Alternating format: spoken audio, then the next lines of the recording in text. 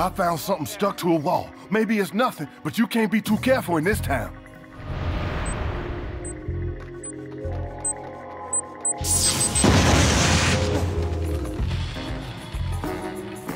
I think I just found another bomb.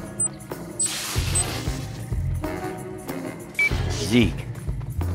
Looks like somebody's making bombs out of blast shards. That's all the more for you to collect, right?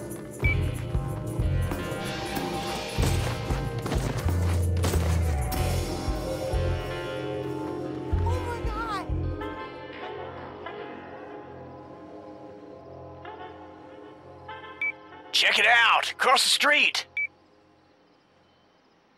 That blast shard's gonna be easy pickings. There are plenty of other shards, Cole. You don't need to brutalize these people.